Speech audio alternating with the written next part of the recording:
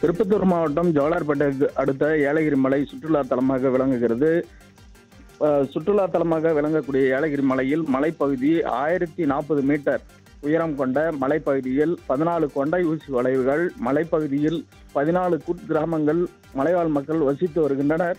இந்நிலையில் ஆந்திரா கேரளா கர்நாடகா தமிழ் தமிழகம் முழுவதிலிருந்து சுற்றுலா பயணிகள் அதிக அளவில் வந்து செல்கின்றனர்.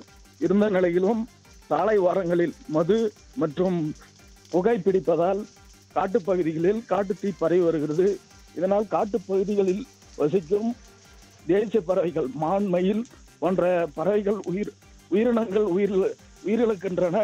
ஆனால் தீயணைப்புத்துறை வனத்துறை எந்த ஒரு நடவடிக்கையும் எடுக்காமல் பேர பேரளவில் மட்டும் மெத்தனம் காட்டி வருகின்றனர் ஐஸ்வர்யா.